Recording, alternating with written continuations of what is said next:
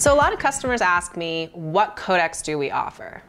Well, keep in mind to us, a codec is a piece of hardware, but you also have coding algorithms which can actually be modified and customized for a specific application. So what's the default encoding algorithm for our codecs? Well, we're using the Opus Mono coding algorithm by default, and that's the default profile.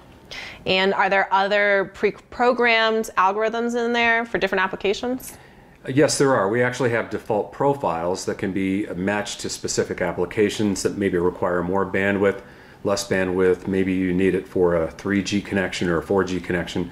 And those are part of the default profiles. So, what if I want to create a custom profile, maybe only have audio being encoded one way? Is there a way to do that? Certainly. You can go into the Manage Profile sections, and that's where you can actually select one of the more than 50 different coding algorithms at varying different bit rates. You can also customize them so that maybe you can use a different algorithm for transmit than you have for receive. And that way you can actually mitigate the delay between the send and the receive. And what if I run into an issue trying to make my custom profile? Well, you can always call our tech support department and they're happy to help you out. Consult your manual and you can also check out a bunch of other information and tech notes on our website.